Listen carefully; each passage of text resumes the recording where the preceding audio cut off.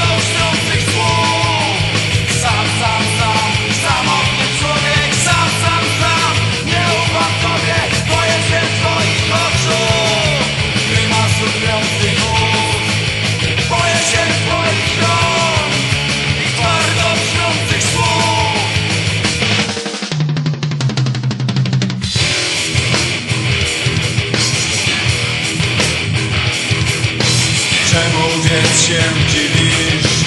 Kiedy zamiast uśmiechu na mojej twarzy Częściej gości słowo